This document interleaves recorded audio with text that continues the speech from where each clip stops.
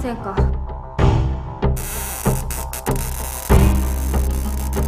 思い知れ。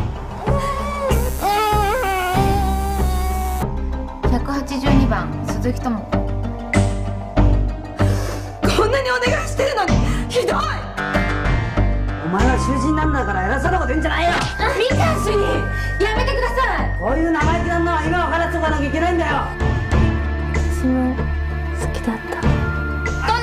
お金で操ろうなんて。やめなさいレディースの総長にダメじゃないよ。絶対服従が条件なんだよ。失礼。を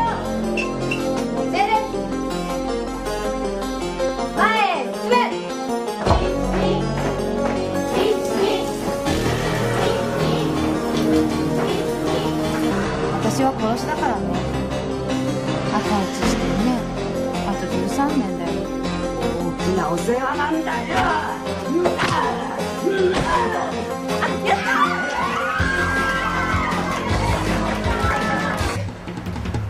麗華は懲罰房で仮釈も取り消しよあんたが言ったこと一生忘れないからね。脱獄させてくれよ。脱獄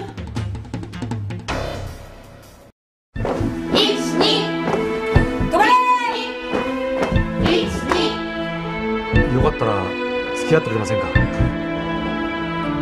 私とですか？今度作ったらただで済まさないよ。やれ。ちょっと元看守だからって偉そうにしないでよ新入りのくせに。あんたいい加減にしろ。48番私に売れたら懲罰だけじゃ済まないわよ。大きなお世話よ。